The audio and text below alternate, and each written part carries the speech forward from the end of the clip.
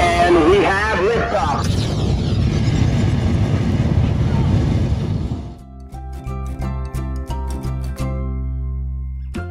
Welcome to the Oliver and Lucas Kids. Today, we're at the Museum of the Moon to learn about the moon.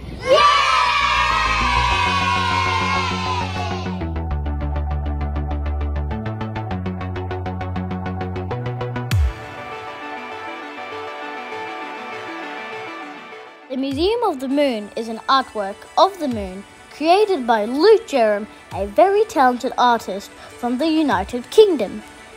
This artwork is so popular that it travels around the world for people to see, and today is our lucky day because it has come to Bunjil Place. This 7 meter wide replica of the moon has been lit up from the inside with lights. The surface of the moon replica is using real life images taken of the moon with a NASA satellite.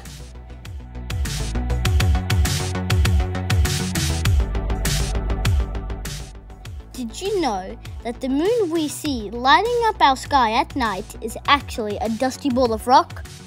It is roughly a quarter of the size of Earth.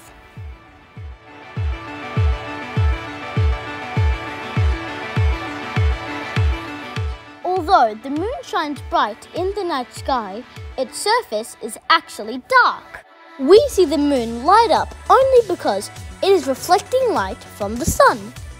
The temperature on the moon is super hot during the day and super cold at night. Like Earth, the moon has gravity. Gravity is the force that pulls things towards the ground. But the gravity on the moon is weaker to the strength of the gravity on Earth. Did you know that the moon's gravity controls the rise and fall of water levels in our oceans? The first person to walk on the moon was Neil Armstrong.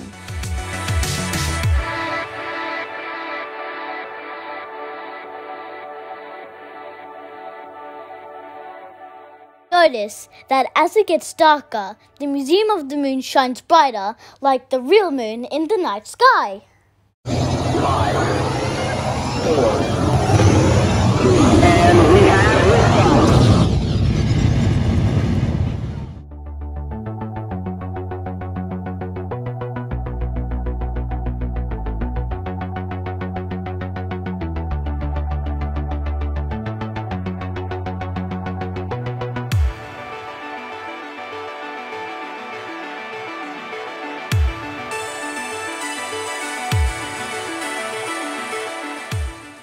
We asked Alfie what he thought the holes on the moon were, and this was his response. Little holes are cheese. Holes on the moon are the cheese. They look like cheese. Good try, Alfie, but the moon actually has craters because asteroids, meteorites, and comets have crashed into the moon's surface. There are also mountains and hardened lava from dead volcanoes. Did you know that the moon is Earth's best friend? That's because the moon orbits our planet over and over again by circling our Earth in an oval shape called an ellipse. It takes just over 27 days for the moon to travel all the way around the Earth and complete its orbit.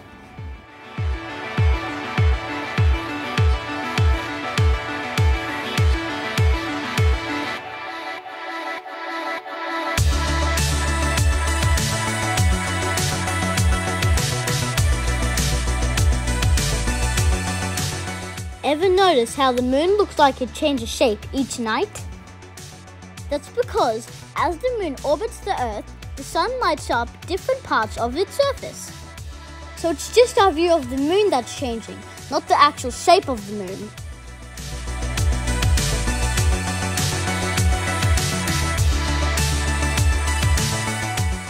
It's time for us to go. We hope you enjoyed learning about the moon today. Don't forget to click the like button and subscribe to our channel for more educational videos for kids. See you next time.